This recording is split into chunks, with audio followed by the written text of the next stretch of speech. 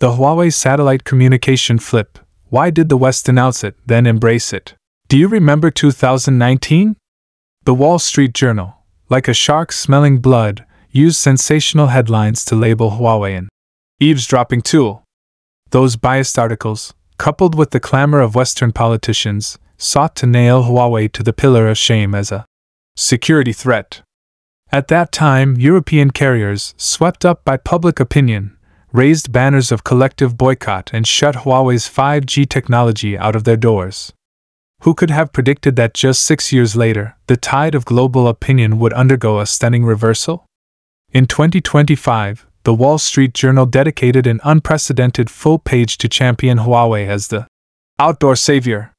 The article listed countless real life cases of people rescued thanks to Huawei's satellite communication technology, with every line filled with praise. Meanwhile, the European carriers that once shunned Huawei 5G are now lining up to test Huawei's satellite calling feature, with boardroom discussions focused on deep cooperation with the company. This dramatic reversal, more absurd than a carefully crafted Hollywood script, begs the question what story of technological breakthrough and geopolitical maneuvering lies behind it? Huawei's satellite calling is fundamentally different from Apple's. Apple's satellite SOS is like Sending a distress telegram. You can only select fixed options to send to rescue agencies and cannot receive a reply. Huawei's, however, is like making a satellite phone call, allowing direct voice conversation.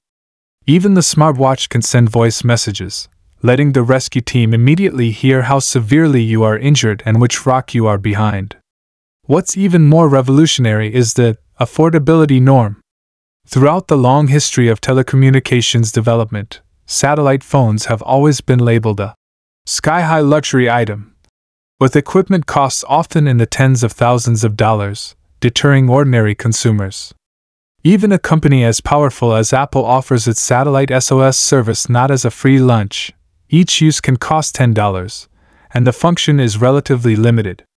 The arrival of the Huawei Mate 80 marks a milestone in industry change. It boldly broke through technical barriers, deeply integrating the satellite communication module into the phone body, requiring no external accessories, truly achieving one device in hand communicate across heaven and earth. Even more surprising, Huawei generously gives users 300 minutes of free satellite call time, equivalent to equipping every user with over 5 hours of life insurance. Experienced outdoor adventurers have found through careful cost accounting that buying a Huawei Mate 80 for the price of a regular smartphone provides the dual protection of daily communication and desperate survival. This is akin to getting double insurance for one's travels. From now on, whether traversing uninhabited primeval forests or climbing the thin aired peaks of snow capped mountains, the Huawei Mate 80 can be a reliable lifeline, making the term out of contact, disappear entirely from the outdoor lexicon. Behind this are three perception shattering secrets. Why did Western public opinion flip? How did Apple's emergency card lose? Why are the regulatory bans quietly easing? Let's uncover the truth. I. From security threat to outdoor lifeline, the change of heart in Western media in the 2019 Western media landscape. Huawei was a monster, the US took the lead in shouting, Security risks.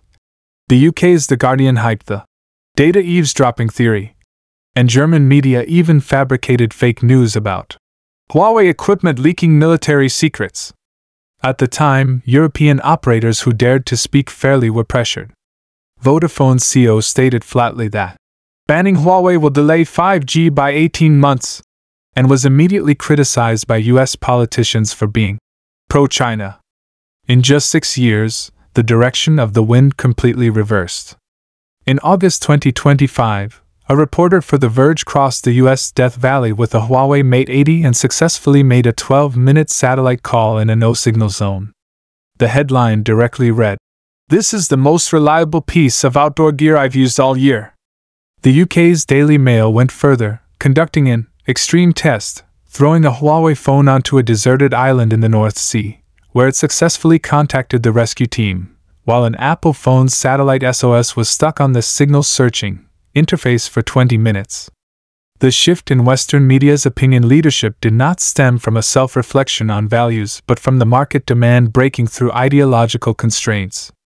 Looking back at the 2019 public discourse, negative evaluations of Huawei mostly focused on abstract concepts like geopolitical security risks and tech sovereignty rivalry, which were detached from the everyday lives of ordinary users.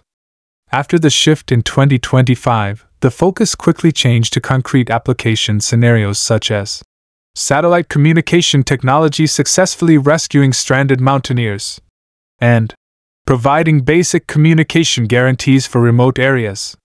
This dramatic evolution of the media ecosystem fully confirms the practical logic of technology empowering social development.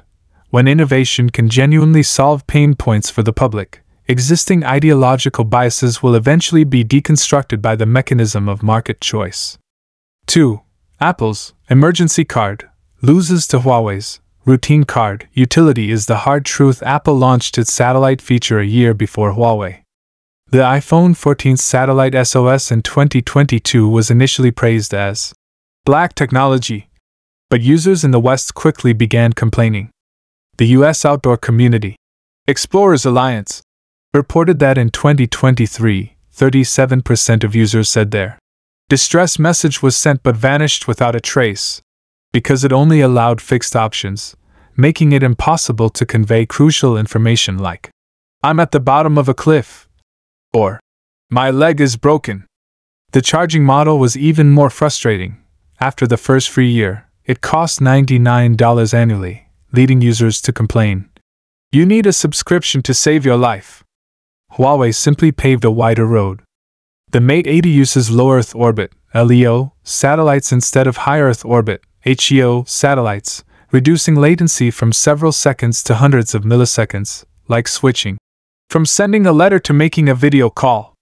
Mark, a US search and rescue team leader, wrote in Outdoor magazine Last time we rescued a lost hunter, the Huawei phone directly transmitted the voice I have a heart condition and need nitroglycerin. We brought the right gear and saved 40 minutes, something Apple cannot do. More critically, there's the price. Huawei's basic satellite calling functions are free, and a heavy user annual package is only $29, less than a fraction of Apple's cost. The product positioning of satellite communication features is distinctly different between Apple and Huawei. Apple positioned it as a premium feature for high end models, while Huawei focused on daily practicality and emergency needs, integrating the technology into more users' lives. In the utility focused Western market, a service that offers both cost effectiveness and high frequency usability is clearly more appealing to consumers than an emergency function that emphasizes premium status. This confirms that in the tech sector, product strategies aligned with users' real world needs are often more market competitive. 3. The secret to easing the ban regulation can't fight. Voting with your feet. How harsh was the US crackdown on Huawei? In 2019, it was placed on the Entity List, requiring US companies to get a license even to sell chips to Huawei, and allies were pressured to ban Huawei equipment. But in 2025, the picture sharply changed. The US Commerce Department extended the temporary general license for Huawei for the third time, allowing companies to cooperate with Huawei on satellite technology. Germany even openly stated that no security risks were found in Huawei satellite equipment, tacitly allowing carriers to test it. Behind this is the pushback effect from users in the West. Farmers in remote U.S. regions jointly petitioned Congress.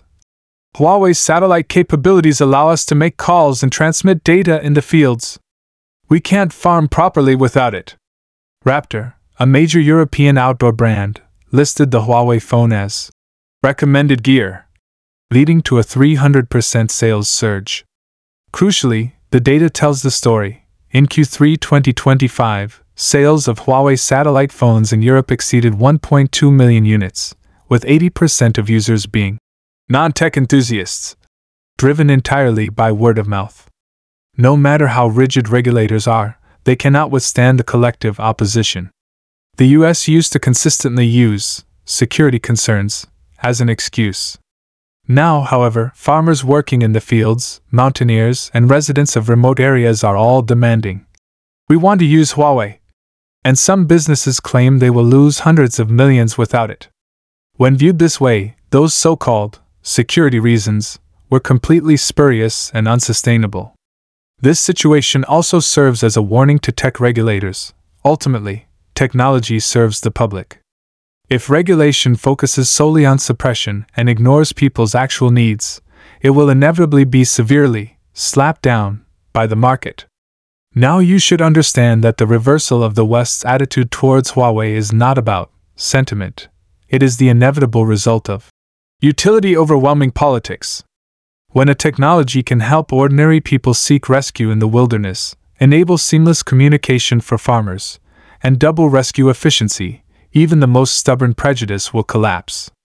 If you have used Huawei satellite features or witnessed a similar true fragrance moment in technology, please share your experience in the comments.